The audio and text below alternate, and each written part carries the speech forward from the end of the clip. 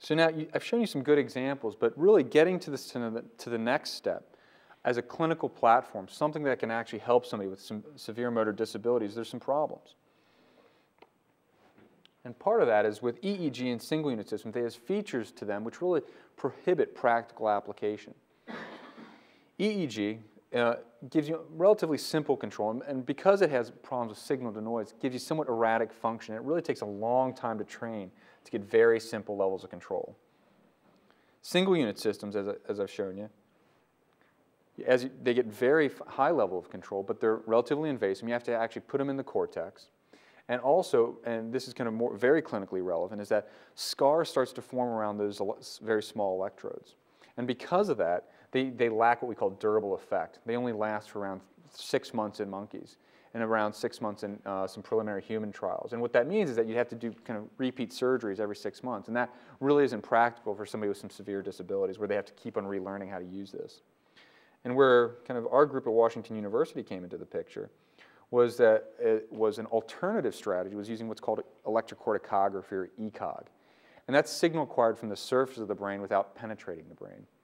And that signal has some unique features in that it's much more robust than EEG. You can see a much broader frequency. It has much better regional discrimination, meaning that you can really see kind of you know, fine points of act activation, millimeters versus the centimeters with EEG. And because you're not penetrating the brain, scarring is much less of an issue.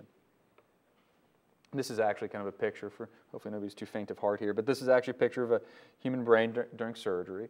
Uh, and we actually put these grid electrode arrays for a clinical indication uh, for localizing seizures. There's a certain population of patients with intractable epilepsy actually require the placement of these electrodes over the surface of the brain so we can find where those seizures are coming from and then actually take that part of the brain out to treat their seizures. This also provides us with a very unique opportunity to essentially get invasive uh, electrical activity from the brain. So these patients have these electrodes over the surface of their brain for a couple weeks while we wait for them to have seizures. And during that period of time, we uh, actually do experiments with them where we have them participate in various uh, uh, cognitive tasks.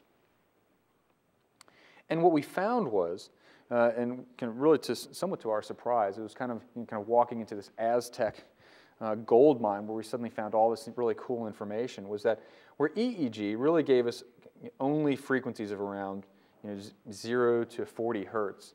When we started to look at the, the these frequencies um, under the skull, there's kind of a whole world opened up of these high frequencies. And what we started to discover is that these high frequencies carry substantial information about cognitive intentions. And this is just a, a brief example.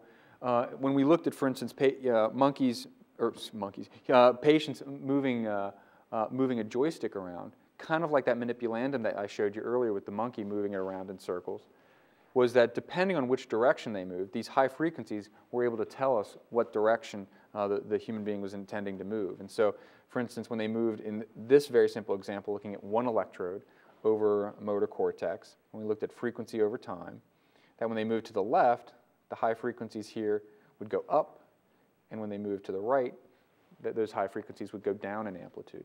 And so we started to find multiple different electrodes that could essentially help us predict which direction the person wanted to move that cursor.